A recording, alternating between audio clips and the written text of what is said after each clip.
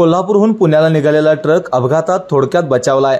चालकाला डुलकी लागल्याने ट्रक नदीत कोसळताना पुलाला धडकला. मात्र ट्रकची केबिन पुलावरून खाली नदीत कोसळली तर ट्रकचा उर्वरित भाग हा पुलावरच राहिलाय. हा विचित्र अपघात बुधवारी पहाटे साडेपाच वाजण्याच्या सुमारास वाडेपाट्यावरील वेन्ना पुलावर झालाय. या अपघातात चालकासह दोघेजण गंभीर जखमी झाले असून त्यांच्यावर जिल्हा शासकीय रुग्णालयात उपचार सुरू आहेत. कोल्हापूरहून नारळ घेऊन ट्रक पुण्याला निघाला होता. वाडेफाट्यावरील वेन्ना पुलावर आल्यानंतर चालकाला डोळा लागला त्यामुळे पुलाचा कठडा तोडून संपूर्ण ट्रक नदीत कोसळणार.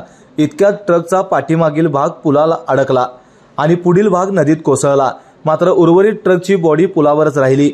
ट्रकच्या केबिनमध्ये ट्रक चालक होता. हे केबिन नदीत कोसळल्यानं ट्रक चालक आणि अन्य एक जण गंभीर जखमी झालाय. तर अशाच ताज्या अपडेट्ससाठी speed news live twenty four चॅनेलला सबस्क्राईब करा आणि बेल आयकॉनवर प्रेस करा.